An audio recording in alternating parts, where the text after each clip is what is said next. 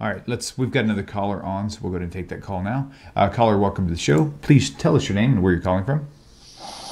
Uh, hello, my name is Ahmed. Uh, I'm calling from Florida. Oh, very good. Um, I'm just I just have a, uh, one question uh, about the word Ichad and Elohim. Um, now, the word Ichad, which is uh, con- um, coincidentally it's the same in the Arabic, which is Ahad.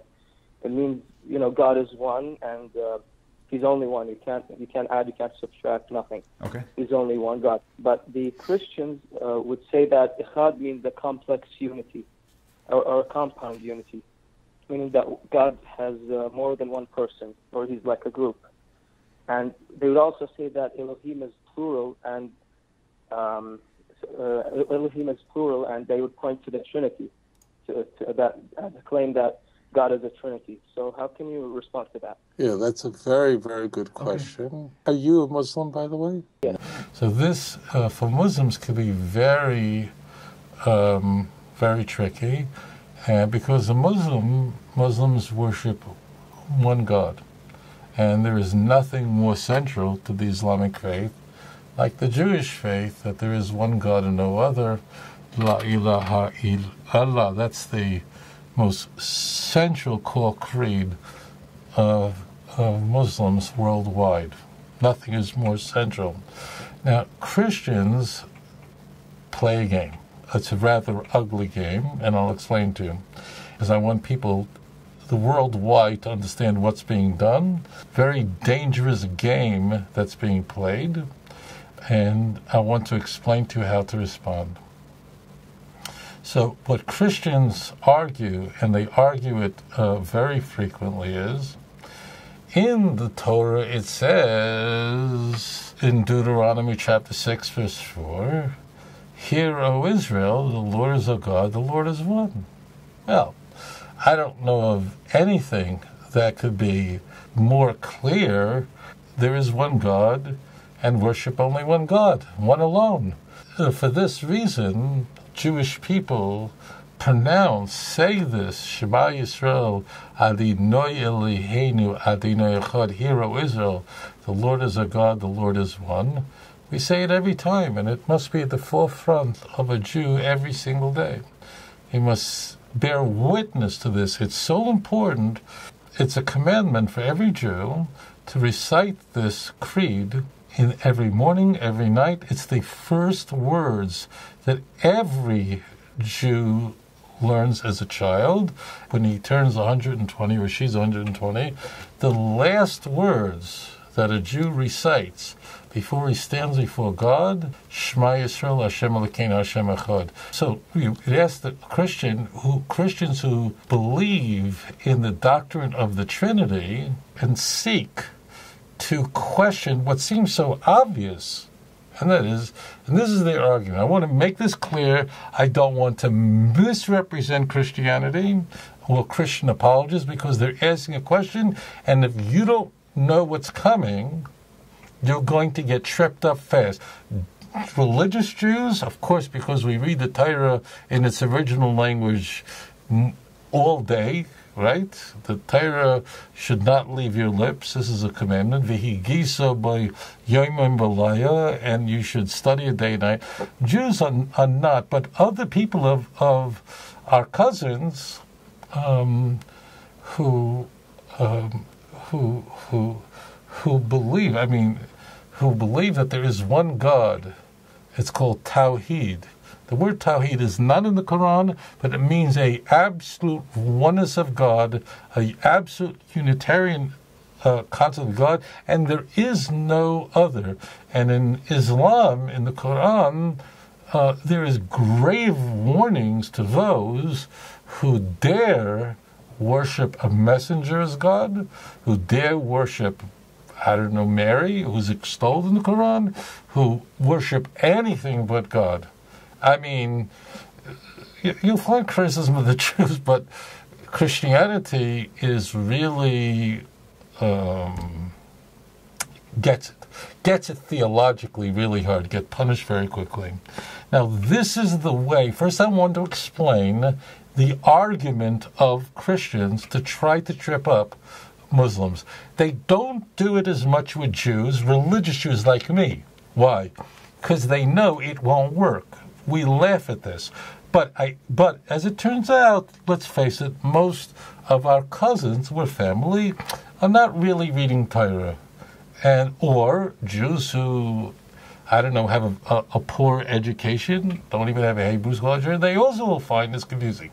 And this is the Christian argument. I want to explain it slowly. First, I want to just give you the full Christian argument for those who do not understand the question, and then I want to show you how how that this is completely bogus. This is a fatuous argument, and and Christians who now I, I am hoping to God that most Christians don't realize the blasphemy that they say that they are committing by making such a statement.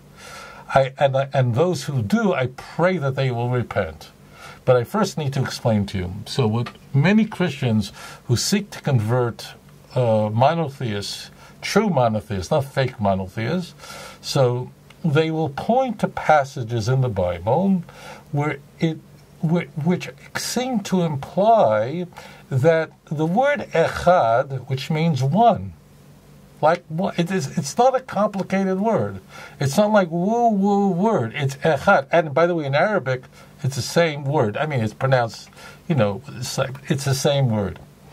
So what Christians will argue is, oh, gone not so fast, because at, this, they, they literally say this without blanching.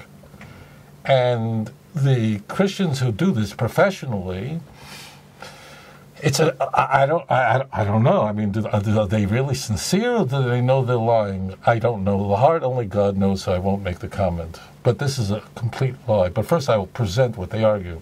So they'll say,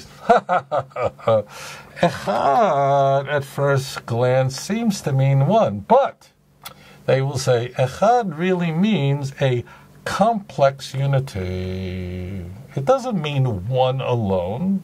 And in fact, there's another word for that is yachid, it means alone. And they'll prove it.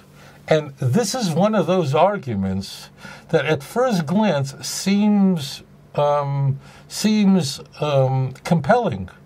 But what you do is you have to take just dig a little deeper, just a drop deeper, and then you realize that this is a that this is a fatuous claim and it is also blasphemy against the God of of Avram Avinu, Yitzchak Avinu, Yaakov Avinu, Daniel of blessed memory. But here's their argument. For example, if you go to Genesis chapter 1, verse 5. I'm just going to give you, I'm just going to argue it the way Christians would. What does it say there? Vayhi er vayhi vayker. It was evening, it was morning. One day. So we see that one doesn't really mean one as you Jews claim or as you Muslims claim. Here we see it's a complex unity. It's multiple things in one. Or, as we see in the Bible, Adam is instructed, our first father is instructed, the man should leave his, his, his family's house and should cleave unto his wife, and they should become basar echad, they should become one flesh. Ah, we have here an open proof that echad doesn't mean one alone and no other. The word tawhid, by the way, is an Arabic word which simply describes absolute monotheism as Jews believe, okay? The word tawhid, just as a point, is a concept. It's like Unitarianism. It does not appear in the Quran itself, but it's a concept. A concept of, because uh, Muslims had to come up with a the a word that um, that conveys the mono, the absolute monotheism of Islam and Judaism in contradistinction to Christianity. And this is a very, very excellent, is really an excellent word to do that. But it's not a word found in the Quran. And don't let Christians, Tawhid is not in the Quran. Well, Trinity is not in the New Testament either. Don't, you have to be careful because if, if, you're not ready for these arguments, it really will um, it'll throw you off. Let me give you another example. I really want to lay it out. I'm going to even make it stronger. We see, for instance, Numbers chapter 13, verse 23, that when the spies returned back from Canaan, and they came back with one cluster of grapes. Now, so you have many grapes in one cluster. The, the context is that these were huge grapes, and the ten spies who were unfaithful uh, were showing that this land is unconquerable. Look at what's coming out of here, okay? But the point that is being argued by our, I don't want to say our Christian friends, uh, there are some who are innocent who don't know any better, but the apologists who argue this, that means the people with degrees, they know, I'm pretty sure they know exactly what they're doing. So that is the argument. So the argument is, and they will say this. You'll say the following: the word echad, if you look it up in the Jewish Bible, anywhere, it really means a complex unity and does not mean one alone. Okay? Now, anyone who's ever heard this, whether you're a Christian or a Muslim or a Jew, you know that I have not misrepresented the Christian argument here. And this this argument is blasphemy, it is a lie, it is fatuous, and it's completely bogus. Because what they're doing is they're creating what's called in logic a complex equation. They're saying that everywhere the word echad appears means a complex unity kind of one. And therefore, when it says, Hero is the Lord our God is one, it means complex unity, hence the Trinity. And this is an absolute lie. But what did they do? It's very simple. And I'll explain more in a moment. First, let me tell you what they do. And that is that, in fact, the word echad appears all over the Jewish Bible. Sometimes it does mean a, co- a complex unity, just like in English. Let's just use English. One. Okay? Well, one in English can either mean there was one smile, I had one thought, or it can mean I have a a a living room one living room set which comprises tables and chairs. It's the same thing, but what do they do? They cherry pick only the examples in the Jewish Bible where Echad is a complex unity, and then they and they ignore, they extract, they surgically remove. They won't tell you all the places in the Jewish Bible where the word echad means one and no other, and they won't tell you. And the, God forbid will bring someone to idolatry. And I'll give you many examples which no missionary will share with you. Maybe I am hoping that these missionaries are ignorant, but believe me, many of them are not. I've been doing this 35 years. So let's take an example, and I'll show you this is a complete lie.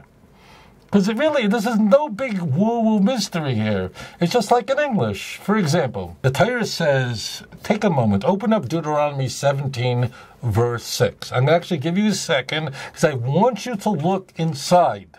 Your, li- your eternal life is at stake. Okay, so go to Deuteronomy 17, verse 6. Take a moment, look at it, because right now, if you're a Christian, is the time to repent. And I say it out of love. If I didn't care about you, I say, go worship your idols, go desecrate your soul but I, I, care about you, believe me. And uh, one thing I say to the Bnei Yitzhak and Bnei Ishmael, to the Jews and Muslims, I, I, teach you this. There are some really bad characters out there who do this, but my sense is that most Christians just really don't know any better. So if they, if your sense is they don't know any better, no matter what, be nice, okay? I'm, it, it offends me. It does. I mean, to say this to a Jew, that there's more than one God when Isaiah screams, There is no one else besides me, there's no one before me, there's no one after me.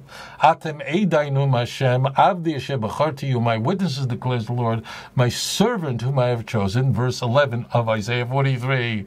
I am the Lord, and besides me there is no other Savior. Really, if tonight you want to accept the HaKadosh Baruch the true holy God, read Deuteronomy 4. I'm not even saying a word. Read it and repent. If you're if you're not a a true monotheist, that means a complete Unitarian. now that you have Deuteronomy 17:6, because I you have to see it.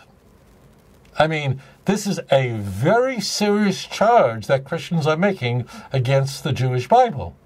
And if they are right, if they are wrong, then they're the priests of Baal. Watch. The Torah says, now the context, you know, I'm not taking anything out of context. Deuteronomy 17 is about Jewish law and, frankly, the law of, eh, of witnesses.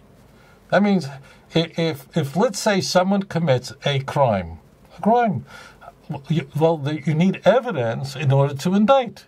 Well, what is that standard of evidence? Well, we want witnesses. I'm not going to go complicated here, just really simple. You need witnesses. And, you know, you can't put people to death on some very there is a death penalty, but it's it's a very very high standard. So the Torah says, I want to read to you this verse. I want you to read it with me, and I want you to fall to your feet and accept the God, the God of Avram, Yitzchak, Yaakov in your life, please. We're all prophets to Jews and Muslims.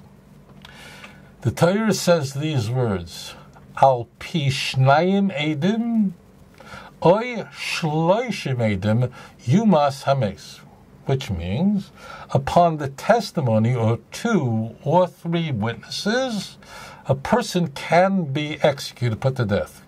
Okay? However, the Torah then goes on to say, Lo yumas al pi. You may not execute someone, let's say he's a murderer, based on the testimony of one witness. Stop, listen, and act. I'm going to ask you a question. If you're a Christian and you've been you've been you've been um, injected with the with the abomination of the Trinity, this is the time to reconsider your life. Because Hashem loves you, creating the image of God. But you cannot commit adultery against God and hope that you can have a relationship with God. That's not possible. What does the text say? The text says that upon the, the, the testimony of two or three witnesses, a person can be executed, which is the highest standard. I am not going to get into the complexity, it's really complicated. The witnesses can't know each other, they're interrogated. That's not germane. And I'm not going to explain to you why I say two or three, why not four or five. There's actually a reason in Jewish law, not germane. But what does it say? Lo yumas al pi eidecha. You cannot put someone to death based on the testimony of one person. That one witness can be the nicest guy and have the best, most um, have, have the most uh, sterling credibility. You just can't. Now I'm going to ask you a question. Does that word echad mean a complex unity, or does it mean one alone, and no other? You know the answer. It means one alone and no other. So how do you, you a Christian apologists out there who devote your life to taking monotheists, meaning Jews and Muslims, and how do you dare utter this filth from your mouth by quoting, by cherry picking texts where echad means complex unity, ignoring the text. Let, let, me give you another example. So, you know, maybe, maybe, maybe uh, uh, uh, this is an exception. Okay, let's turn now to Deuteronomy 19, verse 15. This is the words of Moshe Rabbeinu Olav Hashalom. Who was that? Moshe, Moses, our teacher of blessed memory. You know Moshe Rabbeinu was? Do you have any idea? Moses heard the voice of God and he wrote every word as God told him. Moses, Moshe Rabbeinu. Ah! Moshe Rabbeinu writes these words. This is not that written by some some some cleaning lady. I, I, don't mean if you're a cleaning lady, number one, but please, this is the words of, of Moshe, of Moses. He writes these words. Lo yokun eid echad which means that one witness shall not rise up against any man to indict him for any kind of sin. And then it says, oy al pishloisha edim yakum davar. Now there's the word achad. Does that a compound unity? Now, any person knows that's not a compound unity. So here's the question on all these missionaries How do you dare quote certain passages that conform to your blasphemy and you deliberately expunge all the passages that don't conform to your blasphemy. I, am using blasphemy because it really offends me. How dare you? Do, I mean, now, one con- point again most Christians I find have no clue. They don't know. This is what their pastor told them. And their pastor is also a nice guy, and their pastor told them the same. So please, if you talk to a Christian, be, be more gentle than me, because I, I got upset. I don't like this. Because now you're dealing with the nature of God, and it, this is really chicanery. This is not a misunderstanding the people who use this kind of stuff, not the average, your average Christian. He has no idea. And when you go to him, believe me, it's going to make him think. Okay, um, let's take a look at Ecclesiastes. Ecclesiastes is written by Solomon of blessed memory, who was a prophet. There is one another, not another. This is like going to Las Vegas or in New York. I remember when I was a kid, I don't know if they still do this. They used to have a guy with three card Monte playing on the street corners, and they would move the cards around, and this is all fake. This is a fraud. Now, the, the point here is I want to now take this a little deeper. There are many, many examples of this.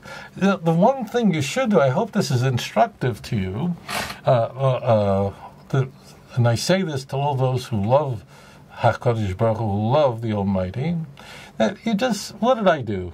Did I do magic tricks? All you do is, today, in the old days, you need a concordance and spend 30 bucks. Today it's free. You can go look it up and just look it up. So, um, so I want to first explain this point.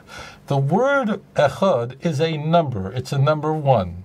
It really does operate like in English. I could say that um, I uh, I don't know. Uh, as I said, uh, my whole dinette set, my whole my my dinette set, my one dinette set consists of chairs and a table, compound unity. But I can say uh, I only need one document, not two. It's the same exact thing. What now? What happens if I want to confuse you? I'll only quote those things that's a compound unity. But I want to. Um, address two other points. If that is the case, and it clearly is, because I've shown you unassailable proof that the word echad, or the number one, can mean either a compound unity or one alone.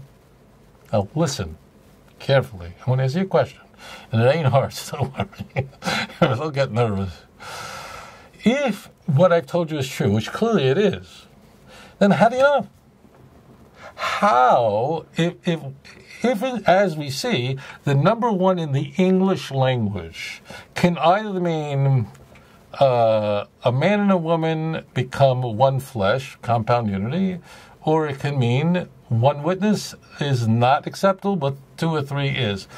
Well, how do you know what the word one means in any conversation? What's the obvious answer? The context if you look at the context, if the text says, and there is, God forbid, that there is one God, but in the Father, Son, and the Holy Spirit, well, that's a Nicene Creed. Well, that's a compound unity, but that comes out of the Council of Nicaea and Constantinople in 325 and 381, respectively. But if I if I if the context is that there's one and not another, that means one. Now, I'd like to get this a little bit more spiritual. And then is what is Hakadosh Baruch Hu, the Holy One, blessed be His name? What what why is He using the word Echad? It means what the Almighty wants us to have this statement, this the most important creed of the Torah at the forefront of our mind, day and night.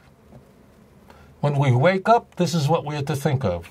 When we lie down, this is what we're to think of. When we become, when a child begins to understand, there's the first passage every child learns. When a person is 120 years old and it's time for them to go up to God, this is the last words on the mouth of a person who's ready to face their Maker. So the question is, like, why is this word used?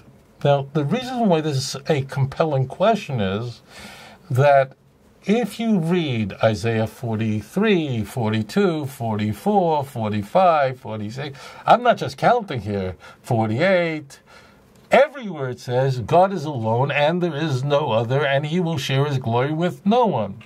It's everywhere. Why the most central creed don't we do we have the word echad employed?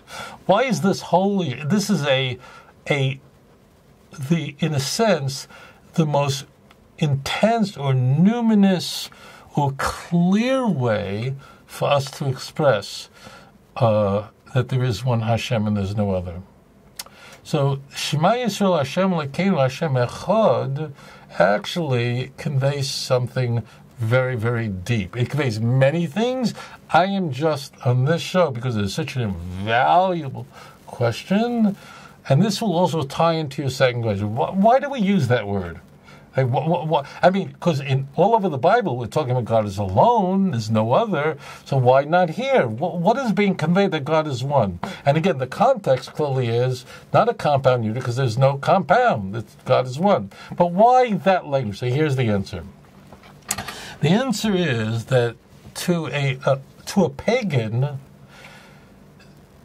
uh, monotheists don't have a problem, but there is, um, I don't even know if it's a challenge, but uh, let's just call it a challenge. The challenge is the following We know that the Almighty, blessed be his name, has many features. For example, the Almighty is um, the, the source of all the powers in the world.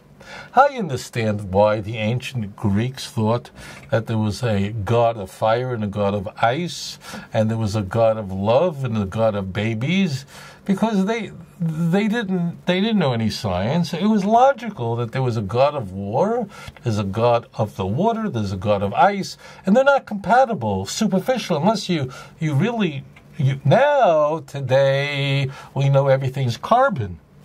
We know today that an orangutan and a human being with 98% of our DNA is in common. There has to be one God.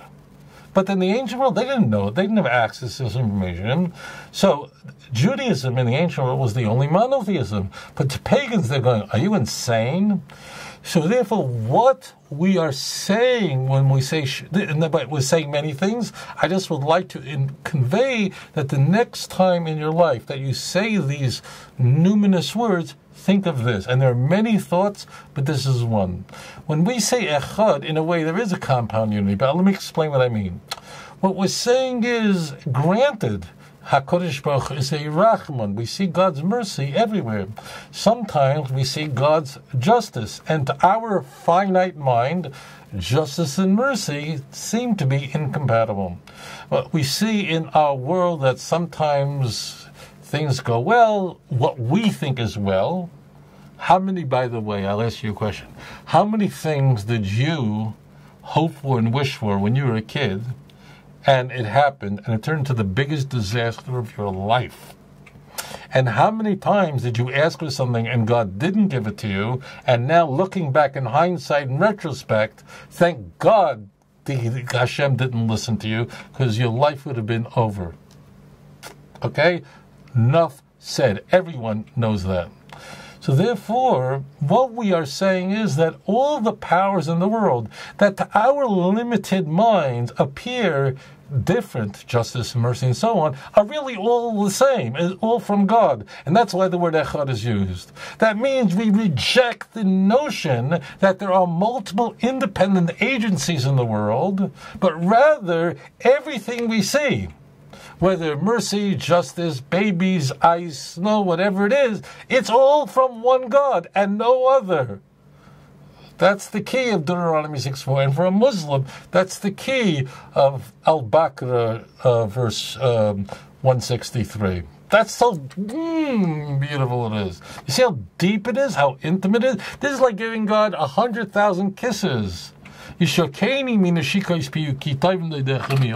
If you understand what I just said, you give Hashem a hundred kisses right now. But what the Christians do, the missionaries do with this, is a crime uh, they can't be locked up because we live in a thing. I think most of them are innocent. Please don't be aggressive with them. Be gentle. They don't know any better. But those who do know are very wicked, and I, I hope, I pray that they repent. Don't, don't. I just pray that they repent. That's all. Uh, now, I'm, this exactly applies to the word, one of the names of God, and that is the name of God. Uh, of now, normally, I want to make this point uh, this point, and that is normally Jews do not say there's one name of God we never mention. It's inevitable. In fact, it's the only sin that God says that if you violate this sin, I'll never forgive you we have in Deuteronomy 28 58, be very careful. And then the 10th commandment says that if you take my name in vain, I will never forgive you. Now, many people say it, but they don't know what they're doing. They're not pronouncing it right, and they don't know any better. They're not held accountable. Now, why is saying God's name in vain such a very serious sin? Is a different conversation, but it's the worst thing. It's the only sin that God says, I will never forgive you. Okay? All right. This is the third commandment. Why is know why is it so bad? I actually have a video on this called "In the Name of God." You'll find it in YouTube. I don't want to cover it. The key is, but the other names of God, which I found throughout the Torah, Jews say if we are reciting the whole passage, but we don't use in we don't just say God, the other names of God that we say in prayer, in recital, if we're reading the whole passage in the Torah, then we do. But in normally we avoid it. But here, I am I'm permitted to do it because uh, I, I must teach this. Okay, so we're going to talk about the word Elohim, which means God. Now again, I ask you now, just don't I'm using it now to teach Torah, and because it's an urgent issue, because there's a very important question which I'll explain. Normally, a Jew doesn't say, no person should say that word unless they're in prayer and they're reading the passage from the Bible. We don't just flippantly. It's it, we just don't. Okay, we say Hashem, the name. That's the word, by the way, used in Deuteronomy 28. Hashem. That's what we say. But here it's important for me to say it. Okay, so here's the argument, and I must cover it. I cover this in my book, Volume 2. But, and I'm not trying to sell books, but if you want all the sources, it's there. Okay, I'm going to play games with you. You know, I never ask to buy anything. I don't ask for donations, nothing. But it, it is. I go through all the passages so you can look it up. So the word is. What does the word Elohim mean? This is the name means God. Okay. Uh, incidentally, because the person called in, his name is Ahmad, which is means that is very likely he's a Muslim. So it operates in the same way in Arabic, because Arabic and Hebrew are extremely close, and I don't have to go on to tell you that that Muslims believe in the God of Avram, and they believe that Yitzchak and Yaakov are prophets. So you have the exact equivalent in Arabic, and that is you have Ilah in Arabic means God. Ilah can mean both the true God or a false God, but you can also have the word Allah, which only means the true God. And therefore, a, a, a creed of Islam, the most central core creed of Islam, La ilaha illallah, which means there is no God, there's Ilah, La ilaha illallah, but the true God. So that means Ilah in Arabic and in the Quran could mean both the true God or the false God, the same exact way in the Torah. Therefore, you can have the word Elohim as a false God as the Ten Commandments. Anoichi Hashem Elokecha Asher Tzisicha Be'eretz Mitzrayim Beis Avodim. Next verse. Lo You have no other gods on my face. And there it's false gods. Same exact thing. What does this word really mean? When we as Jews, or those, we are we who worship the God of Abraham, what are we saying? What are we saying? It's not like God is walking around at a convention. Now you go to a convention and people go, Hi, my name is Tracy. My name is Alan. How do you do, Alan? God's not walking around with a name tag, Allah or Elohim. This is the names that God gave us to use to appreciate who He is. Do you understand that? God is Rahman. It doesn't mean that His name tag, it means He's merciful. Now, what is the name Elohim when it's talking about the true God? What does that mean? And the answer is that Al, what does Al mean? Al means power, mighty. In fact, how do you know I'm telling you? Well, anybody who knows Hebrew, who knows Arabic, who knows Semitic, this is this is kindergarten. But in fact, you'll find in Genesis chapter 1, the very first chapter of the whole Torah HaKadoshah, that because God is creating the world, and therefore He is displaying His power, His infinite power, that's the only name of God ever used in Genesis 1. Okay? So you know, uh, this is not Read Genesis 1. You will not find any other name of God. And there are many, but not in Genesis 1. Why? Because God is displaying what? That all the powers that we see that seem contradictory ice, fire. That's why Pharaoh, when the plague came of hail and there was fire inside, that's what forced Pharaoh to say, now I see that I'm a sinner and this is the true God. Why did that? Why did hail convince him? Because in to the Egyptians, fire is one God, ice is another God. How is that compatible? So the moment the Egyptians said, ah, that now that together this is uh, actually we see that that that uh, that this is only that there's only one God. They they failed anyway, but they this is what convinced them, and therefore when we use the word Elohim by the way, Jews normally say Elohim because we don't want in conversation because we don't. I'm doing it now because I want to make sure that people worship one God. I don't want confusion, and for this purpose, I'm permitted to use it.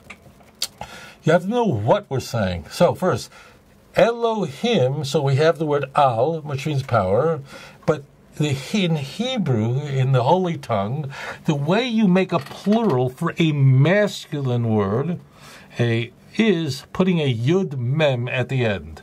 Okay, so uh, uh, ozen means an ear. Oznayim, it's masculine, means ears, um, and therefore el, al means power, but Elohim means powers. That's really what you're saying. Now let's go a little deeper and really get intimate with God.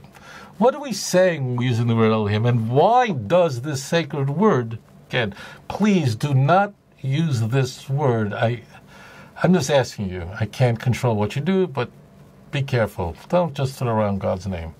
Be careful. Uh, just be careful, okay? It's an entire don't. But here we're going to use it because people's lives are at stake. We're in a hospital, where this is people's lives are at stake. So we have to I, I have to uh, do this here very care- do this, but don't say that now we could just say it. Don't. But here I, I will do it. So what does Elohim mean? Because it ends in a plural. So we have power, and then what we're doing is we're saying all the powers. Oh, now I get it. Elohim doesn't mean that we believe in multiple gods. Spit at that filthy. I'm sorry, I get. I, I just. How could you? It's like someone you know, curses your your father, your mother. I mean, I, I don't know how not to be offended by this. But what Elohim, in, with a plural at the end, you have to know what the word Al means or Elohim means. It means power and then when we say Elohim, what we are saying is powers. So what is conveyed by the Jew with Elohim? It's not by the Jew in the Torah HaKadosh, in the Holy Torah, of given to us by Moses, our teacher, blessed memory is, what we are conveying in our worship of Hashem is, as we submit to the true God, we're saying that all the powers we see, it's really all from you. That's why it's plural. It's so delicious. It's so geschmack. You just want to just say, HaKadosh Baruch Hu, kiss me, kiss me, kiss me, I love you. But if I'll be frank with you, I'm not going to make up stuff. If you don't know the Hebrew, you're a lot of trouble. And I, I say this to everybody. I'm not picking on anybody. I don't know about you. It really blows my mind away. If I got a letter from God, I mean, every day, I presume, you go to your mailbox and you open it up and you see, You get you get a package from Amazon, whoever. Don't you open it right away? Imagine if you got a letter and it said the return address God. Would you open it and read it immediately? And if it was written in a language you don't understand, would you really be satisfied with a translator, or would you give your life to read a letter, a personal letter from God in its original language? You know the answers. Delicious children of the Almighty. I, I, I, I beg you, who, all of you out there, sweethearts, if you believe that Moses is the great teacher, Moshe Rabbeinu, our teacher, Olav Shalom, a blessed, may peace be upon him, um, a blessed memory. Why don't you study it? Why don't you give your life to study the Hebrew language? No one disagrees that the Torah was written in Hebrew. How, how do you? I, I, say it to you, just love. Please don't take it personally. I just I, I'm saying this from one person to another for you who is sincere. You can't go with English translations. I say to my own con I love my congregation. I really do. But I, I give it to them as their rabbi. I say to them, it's one thing if you use a translation a little bit or transliterations to get you through, like someone needs a wheelchair to help them walk or crutches. But the purpose of a wheelchair or a crutch, i.e., a translation or transliteration, is not that you should ride a wheelchair for the rest of your life. The purpose of crutches, and that's what translations are, is that we want to get rid of the crutches and read the original Lashon HaKodesh, the Holy Tongue. And I would just say to me, whatever you do, you do, but I would like to, from the deepest sanctuary of my soul, if you worship the God of Avram, if you believe that Isaac was a prophet of God, if you believe that Yaakov was a prophet of God, yeah, so if you didn't learn Hebrew for whatever reason, fine. But now you're an adult and you love God. Why would you want to use a wheelchair for the rest of your life? Devote your life to reading the, the language of God. So you could read it, because that's. If you don't read the language of God, I mean, am I going to lie to you and make up stories? You, how much trouble could you get in? A lot. Anyways. I, I wish all my brothers, my cousins, my dear friends, and all of you who spent the time to study uh, that the Almighty alone is the one who gives wisdom. Pray to God for wisdom to open your heart and to give you understanding. Baruch Hashem The Almighty is the only one who gives wisdom. God is wisdom, as we see in the book of Proverbs. What that means is not your name. Continue and please God, we'll see the true Mashiach quickly in our time. Thank you so much for joining us with those brilliant questions. אדון עולם אשר מלך בטרם כל יציר נברא ועת נעשה בחפצו כל אזי מלך, אזי מלך שמו נקרא ואחרי ככלות הכל לבדו. ימלוך נורא והוא היה והוא עובר והוא עובר והוא יהיה בתפארה אדון עולם אשר מלך בטרם כל יציר נברא לעת נשא וחפץ הכל אזי מלך שמו נקרא ואחרי ככלות הכל לבדו ימלוך נורא והוא היה והוא עובר והוא יהיה בתפארה אדון עולם אשר מלך בטרם כל יציר נברא לעת נשא בחפץ הכל אזי מלך שמו נקרא ואחרי ככלות הכל לבדו ימלוך נורא והוא היה והוא עובר בתפארה והוא עובר והוא יהיה בתפארה אדון עולם אשר מלך בטרם כל. יציר נברא לעת עשה וחפצו כל אזי מלך, אזי מלך שמו נקרא. ואחרי ככלות הכל לבדו ימלוך נורא והוא היה והוא עובד והוא עובד והוא יהיה בתפארה אדון עולם השם מלך בטרם כל יציר נברא לעת עשה בחץ הכל אזי מלך שמו נקרא ואחרי ככלות הכל לבדו ימלוך נורא והוא היה והוא עובד והוא יהיה בתפארה אדון עולם השם מלך בטרם כל יציר נברא לעת עשה בחץ הכל אזי מלך שמו נקרא ואחרי ככלות הכל לבדו ימלוך נורא והוא היה והוא עובד והוא עובד והוא יהיה בתפארה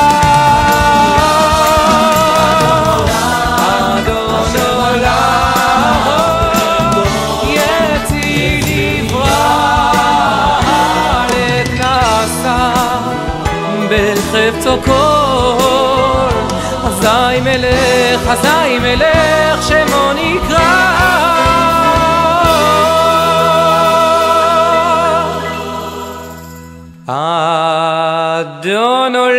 השם הלך בטרם כל יציא נברא לעת נשא בחפץ הכל אזי מלך שמו נקרא ואחרי ככלות הכל לבדו ימלוך נורא והוא היה והוא הווה והוא יהיה בתפארה. אדון עולם השם הלך בטרם כל יציא נברא לעת נשא בחפץ הכל אזי מלך שמו נקרא ואחרי ככלות הכל לבדו ימלוך נורא והוא היה והוא הווה בתפארה והוא הווה והוא יהיה בתפארה. והוא היה והוא הווה בתפארה והוא הווה והוא יהיה בתפארה